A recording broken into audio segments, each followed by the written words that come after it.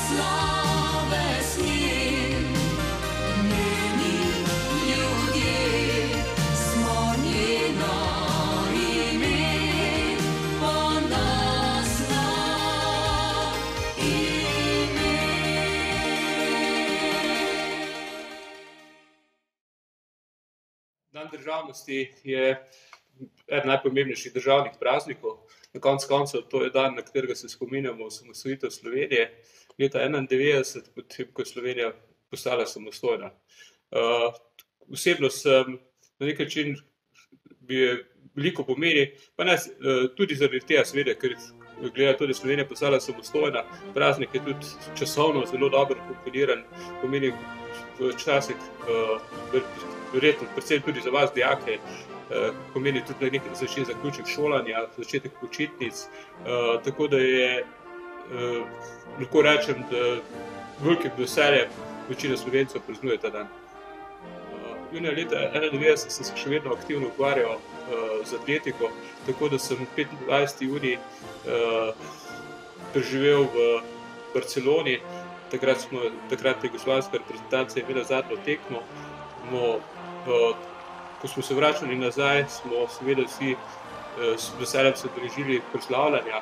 Čeprav sem dolgo časa mislil, da je to bilo 25. junija, pa smo šele potem kasneje ugotovili, da je te, ta ljudska rajanja, ki so bila takrat, so bila v bistvu 26. in so bila na nek način uvod v dogodke, ki so potem sledili. Kajti po uh, večernej veselici, glavna je bila seveda na trgu Republike v Ljubljani, tudi v celju je bila izjemno dobro obiskana. Smo se seveda prebudili do jutro, ko se je začela uh, vojna za samostojnost. Uh, kateri dogodki pomenite, da so najbolj pripomogli k osamosvojitvi Slovenije?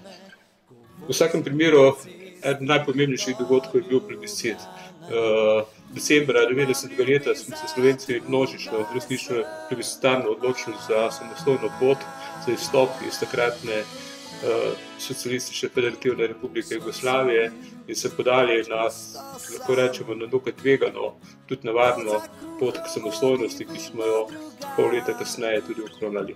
Uh, imate danes na te dogodke mogoče Niti ne, mislim, da je bila odločitev pravilna v vsakem primeru.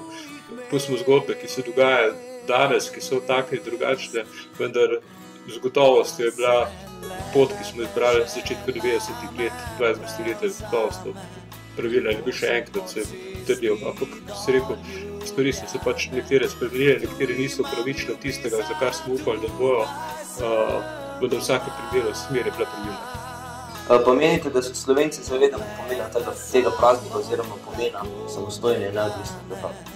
Ja, Vsake toliko časa se sicer tudi sam poprašal po tem, ali dejansko uh, smo sposobni biti samostojni, vendar mislim, da je odgovor v načelni dan. Uh, pa če še malo za konec aktualiziramo, kako bi primerjali dogodke, ki so se odvijali pred osamosvojitvijo Slovenije z aktualnim političnim dogajanjem? Težko bi, uh, težko bi potegnil primerjavo. Nekoč je Hegel, kasneje Marx, povzel to, da se zgodovina ponavlja, prvič kot tragedija, drugič kot farsa. Hoč nekatere stvari dejansko danes delujejo farsično.